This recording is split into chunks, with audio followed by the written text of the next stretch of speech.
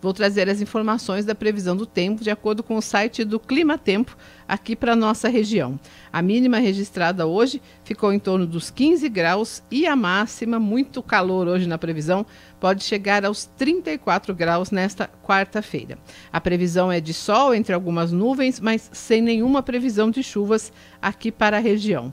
Alerta em relação à umidade relativa do ar porque existe já o, tempo seco voltando aqui a imperar aqui na região, então fique então alerta em relação a mais um dia seco, a umidade relativa do ar começou em torno de 53%, mas à tarde pode cair para a faixa dos 20%, que já é uma faixa de atenção, de preocupação em relação à saúde. Essa então é a previsão para esta quarta-feira aqui em Rio Claro, de acordo com o site do Clima Tempo. Jornal está em tudo, porque a informação está em todo lugar.